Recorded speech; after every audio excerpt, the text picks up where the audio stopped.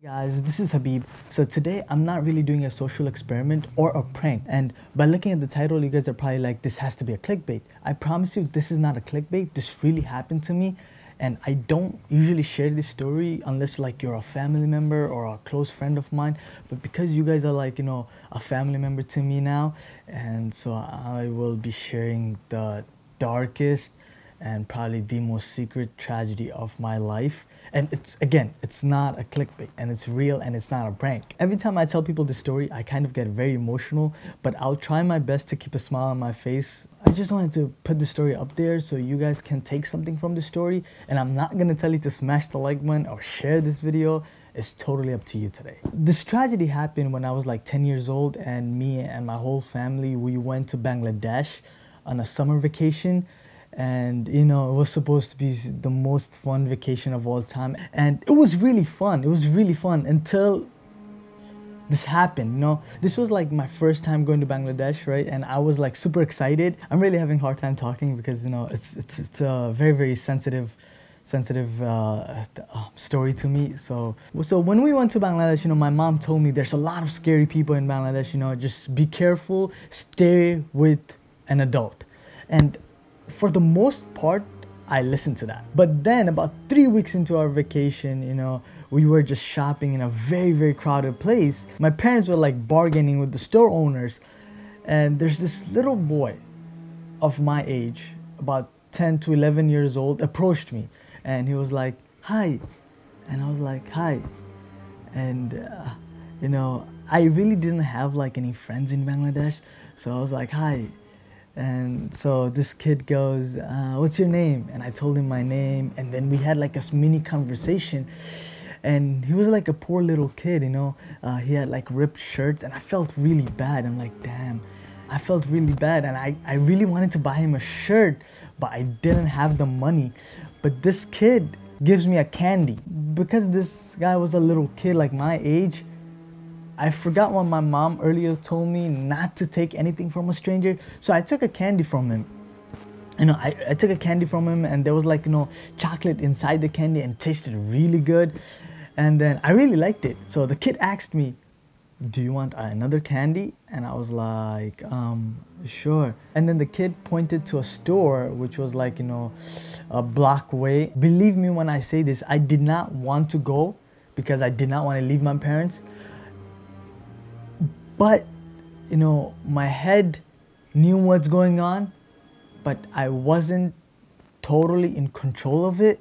I really don't know what happened. Like, my mom was right here. I could have told my mom, Mom, I'm going to the store. I didn't. I just followed this kid blindly.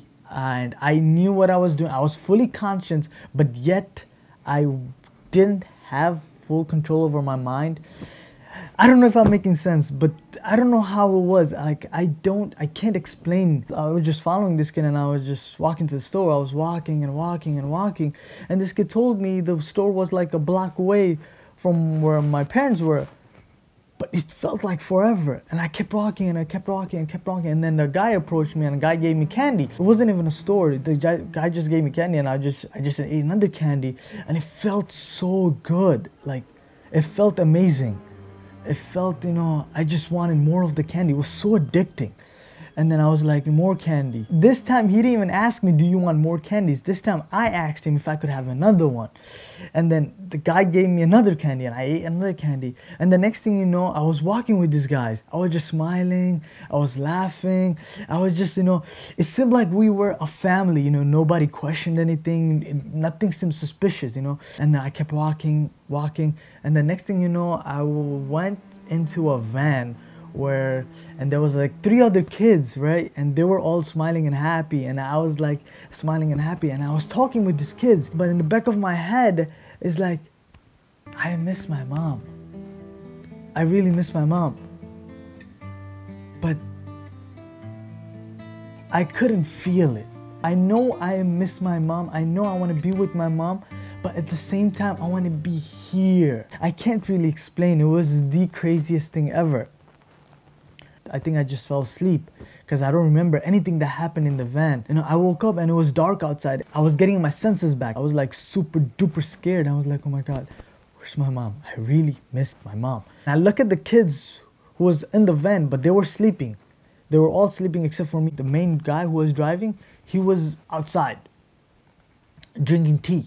I promised everything like I was just praying to Allah. I was just looking outside, you know, my head against the glass wall, and I was just hoping somebody would come here, somebody would come here and you know, take me out of this car. And at that time, I seen um, and I seen someone outside familiar, and it looked like my uncle. So my mom's brother had like a business, so he would go from one city to another city. It looked like my uncle, but I wasn't fully sure. And that's when I was like, okay, let's let's give it a shot. So I basically opened the door.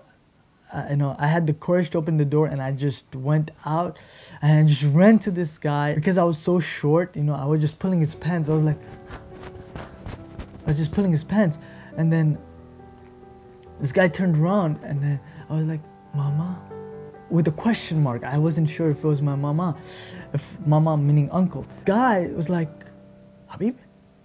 I was like, Mama. He goes, Habib, what are you doing here?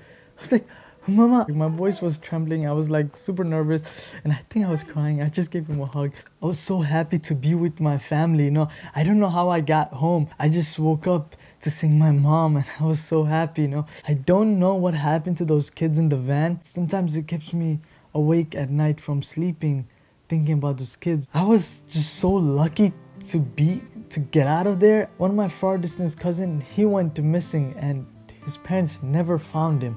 And I was so lucky, like so lucky to come back to my family. That's why I always tell you guys to smile because life is amazing.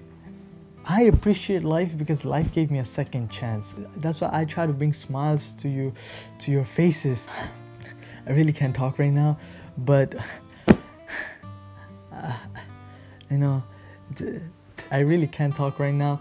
So I'll just say goodbye. I love you guys. Assalamu